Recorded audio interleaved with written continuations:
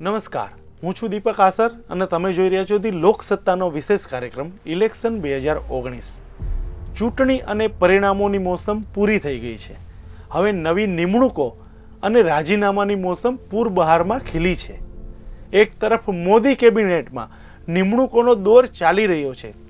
ત્યારે કોંગ્રેસમાં ધડાધડ રાજીનામા પડી રહ્યા છે. આ બધામાં સૌથી મોટું રાજીનામું કોંગ્રેસ અધ્યક્ષ રાહુલ ગાંધીનું છે. રાહુલના રાજીનામાને લઈને ઘમાસાણ મચ્યું છે. કોંગ્રેસ વર્કિંગ કમિટી એટલે કે સીડબ્લ્યુસીના એક સભ્યનું એવું કહેવું છે કે કોંગ્રેસ ભલે હારી, પણ પરિણામો ગત ચૂંટણી કરતાં સારા આવ્યા છે. અને તેનું કારણ એકમાત્ર રાહુલની મહેનત છે. રાહુલે રાજીનામું આપવાની જરૂર નથી. તો પછી રાહુલે શું કરવું જોઈએ? તર્ક એવો છે કે હવે કોંગ્રેસની હાલત એવી દેખાઈ રહી છે જેનાથી તેના અસ્તિત્વનો સવાલ ઊભો થયો છે. ખરેખર રાહુલે કોંગ્રેસને બચાવવી હોય તો રાજીનામું આપવાના બદલે સીડબલ્યુસીના તમામ મેમ્બર્સ, જેની સંખ્યા બાવન છે, તેઓને બરખાસ્ત કરી દેવાની જરૂર છે. રાહુલે આ બોલ્ડ સ્ટેપ ભરવું પડે એવી સ્થિતિ ઊભી થઈ ગઈ છે.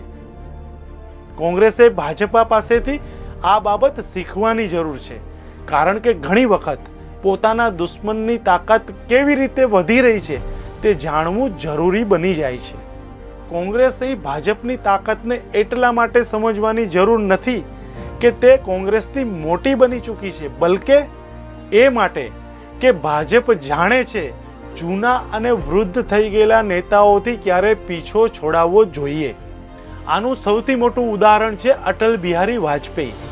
દરેક જગ્યાએ અટલજીનું માન હતું. એ વખતે પણ જ્યારે તેઓ બે હજાર ચારમાં સત્તા મેળવી શક્યા નહોતા.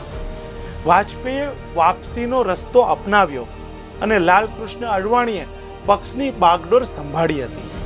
પોતાની નવી ટીમ સાથે અડવાણીએ મુસ્તદેહથી કામ ચાલુ કર્યું હતું. પણ બે હજાર નવની ચૂંટણીમાં અડવાણી મનમોહનસિંહને હટાવી શક્યા નહોતા. એ પછી ભાજપે સમીક્ષા કરી અને છેક સંગઠનના સ્તરેથી બદલાવ શરૂ કર્યો.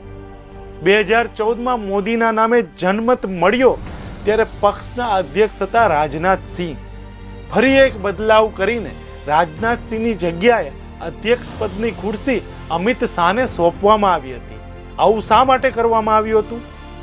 બે હજાર ચૌદ પછી અમિત શાહે અધ્યક્ષ પદે રહીને દેશભરમાં એવું અભિયાન ચલાવ્યું કે જે રાજ્યો ભાજપના કબજામાં ન હતા તેના પર પણ કબજો મેળવી લીધો. એ પછી ભાજપના રંગરૂપ બદલાતા ગયા. એક પછી એક ચૂંટણીમાં ભાજપનો ભગવો લહેરાવા માંડ્યો હતો. ભાજપે બદલાવનો આ સિલસિલા અહીં અટકાવી દીધો નહોતો. અડવાણી અને મુરલી મનોહર જોશી જેવા સિનિયર મોસ્ટ નેતાઓને પણ સન્માન સાથે નિવૃત્ત કરી દીધા હતા. અડવાણી અને જોશી કોઈ નાના નેતા નથી. તેઓએ પાર્ટીને ઊભી કરી હતી. પણ સમયનો તકાજો એ હતો કે આ બંનેને નિવૃત્ત કરવાથી પક્ષને જ તેનો સીધો ફાયદો થવાનો હતો.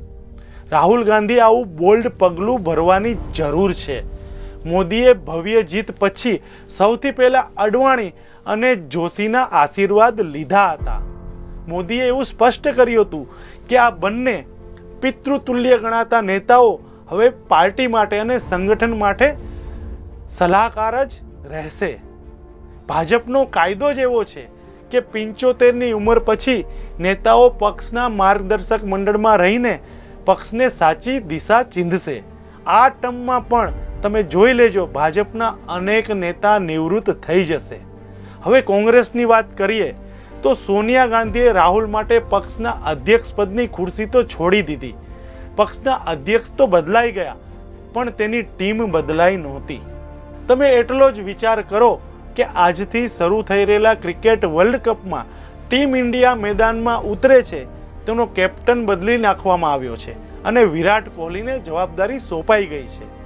પણ જો ટીમમાં સચિન, સહેવાગ, યુવરાજ, યુસુફ પઠાણ જેવા જૂના ખેલાડીઓ હોય, તો ટીમ ઇન્ડિયાની વર્લ્ડ કપ જીતવાની શક્યતા કેટલી રહે? બે હજાર અગિયારની વર્લ્ડ કપ જીતેલી ટીમ ઇન્ડિયાનો એકમાત્ર ખેલાડી મહેન્દ્રસિંહ ધોની આ વખતે બે હજાર ઓગણીસના વર્લ્ડ કપની ટીમમાં છે. બાકી બધા ખેલાડીઓ બદલાઈ ગયા છે અને એટલા માટે જ ટીમ ઇન્ડિયાના કપ જીતવાના ચાન્સ વધારે છે. ધોની ટીમમાં એટલા માટે છે કે તે સતત પરફોર્મ કરી રહ્યો છે. એટલા માટે નહીં કે once upon a time Dhoni સારો ખેલાડી હતો. મોતીલાલ વોહરા જેવા જૂના નેતાઓ રાહુલના રાજીનામા બાબતે નિર્ણય કેવી રીતે લઈ શકે? જ્યારે તેને પોતાને જ ખબર નથી કે હવે કેટલું પક્ષમાં ખેંચી શકાશે. રાહુલ ગાંધી તો કોંગ્રેસના અધ્યક્ષ બની ગયા, પણ સીડબ્લ્યુસીમાં આજે પણ ઇન્દિરાના વખતના નેતાઓ મોજૂદ છે. મોતીલાલ વોહરા જેવા નેતાઓ બીજાનો ટેકો લીધા વગર ચાલી પણ નથી શકતા. તેણે ઘરે આરામ કરવો જોઈએ. આ એક જ નેતા એવા નથી આખી યાદી પણ આવી જ છે. તમને આ યાદી પણ ગણાવી દઈએ.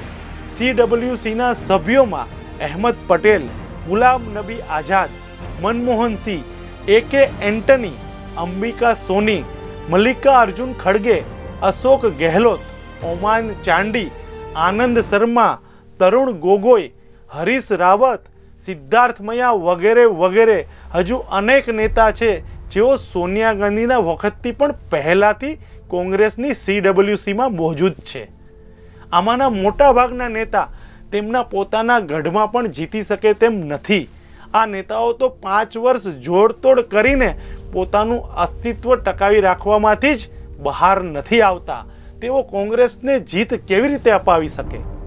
એક સવાલ એવો પણ થઈ રહ્યો છે કે કોંગ્રેસ પાસે આજે રાહુલ જેવો બીજો કયો નેતા છે? આજની રાજનીતિને નજરમાં રાખીએ તો મોદી સામે ટક્કર લઈ શકે તેવો રાહુલ સિવાય કોંગ્રેસ પાસે એકેય નેતા નથી. કોંગ્રેસ પણ ગાંધી પરિવાર સિવાયના નેતાને પાર્ટીની બાગડોર અગાઉ સોંપવાનો પ્રયોગ કરી ચૂકી છે. પણ પરિણામ શું આવ્યું? પરિણામ એ આવ્યું કે ગાંધી પરિવાર સિવાય કોઈ કોંગ્રેસની બાગડોર સંભાળે છે, ત્યારે પાર્ટીમાં અંદરો અંદર જ ભાગલા થવા માંડે છે. કોંગ્રેસના મહત્વના ફેસલા સીડબ્લ્યુસી જ લઈ રહી છે, ત્યારે રાહુલે ભાગવાની જરૂર નથી, પણ સીડબ્લ્યુસીને જ બરખાસ્ત કરવાની જરૂર છે. રાહુલ માટે કદાચ આ મુશ્કેલ હશે. પોતાના દાદી અને પિતાના જમાનાના નેતાઓ સાથે સખ્તીથી પેશ આવવું, પણ ફિલહાલ રાહુલ સામે આ એક જ સૌથી મોટી ચુનૌતી છે. કોંગ્રેસને ફરી ઊભી કરવા માટે રાહુલે આવા કદમ ઉઠાવવા જ પડશે. તમને અમારો આ વીડિયો કેવો લાગ્યો? અહીં કમેન્ટ બોક્સમાં જરૂરથી જણાવજો. ધન્યવાદ. તમે અમારો આ વીડિયો જો યુટ્યુબ પર જોઈ રહ્યા હોવ, તો તરત જ અમારા યુટ્યુબ ચેનલને સબસ્ક્રાઇબ કરો. અને નવા વિડીયોના અપડેશન માટે બેલ આઇકોન દબાવવાનું ભૂલશો નહીં. જો તમે અમારો આ વીડિયો ફેસબુક પર જોઈ રહ્યા હોવ, તો અમારા પેજને લાઇક કરો. વધુ અપડેટ માટે દિલોકસત્તા ડોટ કોમની વિઝિટ કરવાનું ભૂલશો નહીં.